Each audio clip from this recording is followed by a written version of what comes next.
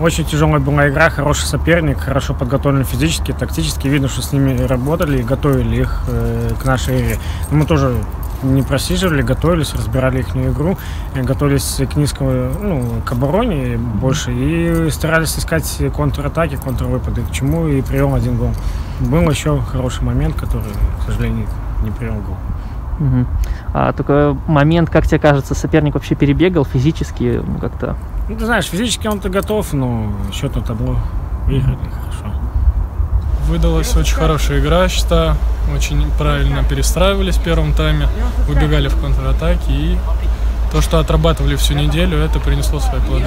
Супер контратака. Игорь быстро нашел лазер, эту великолепную подачу, да, сделал и добежал, закрыл свою позицию, и хороший гол, мне кажется, получился. И потом уже действовали по счету.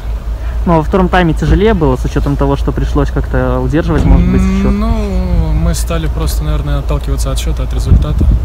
Поэтому старались больше опускаться назад, помогать защитникам. Возможно, поэтому так игра и казалась, то, что очень низко сели. Но так нет, сыграли строго по результату. А что за празднование с Кириллом было? Ну, это лично. Может, потом